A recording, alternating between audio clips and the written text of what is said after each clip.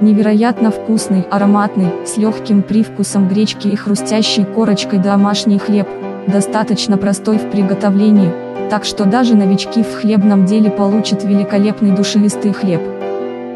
Если вы любитель гречки, то я хочу вам рассказать, как из нее приготовить очень вкусный, со сладковатым вкусом гречишный хлеб, с хрустящей корочкой и нежным мякишем, этот хлеб намного вкуснее и полезнее магазинного, а выпекать его несложно. Немного времени и терпения, и ароматный хлеб готов, ниже я поделился с вами простым рецептом гречишного хлеба.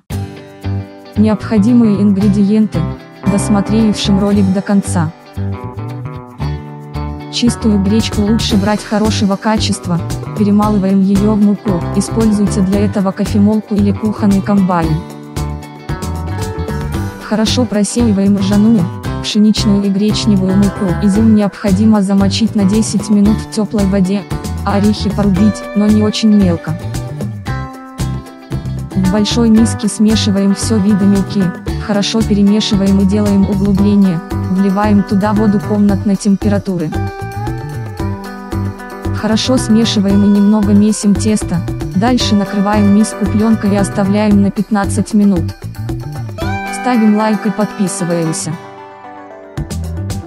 Затем добавляем в тесто соль и дрожжи, месим до тех пор, пока тесто не начнет отлипать от рук, накрываем полотенцем и оставляем в теплом месте на 40 минут. Добавляем в тесто орехи и изюм, перемешиваем, Дальше делим тесто на два части и формируем хлеб, можно виоложить в форму или сделать круглый хлеб, накрываем на полтора часа и оставляем.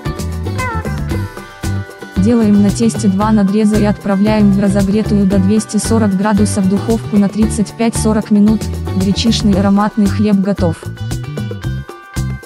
Вкуснее тем, кто подпишется. Вот из чего готовим блюдо.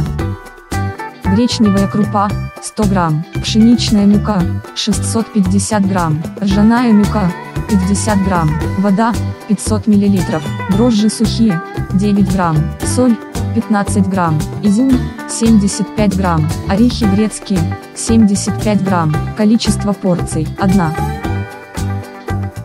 Щелчок, клик, нажатие на лайк, это всего лишь секунда в твоей жизни и целый поток хорошего настроения и мотивации трудиться дальше для автора.